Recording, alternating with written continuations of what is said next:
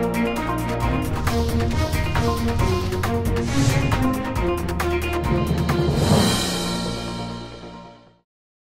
Menanggapi polemik dalam Undang-Undang Cipta Lapangan Kerja di antaranya terkait dengan tenaga kerja asing, Komisi 9 DPR RI menilai masyarakat seharusnya tidak gegabah dalam menghadapi wacana tersebut. Terlebih, pemerintah pun diminta untuk tetap mengutamakan sumber daya manusia dari dalam negeri. Ditemui dalam rapat paripurna pembukaan masa sidang, Wakil Ketua Komisi 9 DPR RI Nihayatul Wafiroh menyatakan, Omnibus Law terkait cipta lapangan kerja bertujuan untuk membuka kesempatan investasi secara luas kepada para investor yang selama ini mengeluh akibat banyaknya peraturan yang berlaku di Indonesia.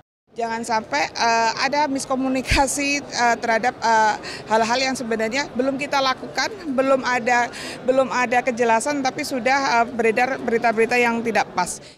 Anggota Komisi 9 DPR RI Adang Sudrajat menyayangkan wacana masuknya tenaga kerja asing di Indonesia. Menurutnya, efek kebijakan tersebut amat besar bagi masyarakat, terutama bagi para buruh, mengingat adanya peningkatan angka pengangguran akibat pelemahan ekonomi.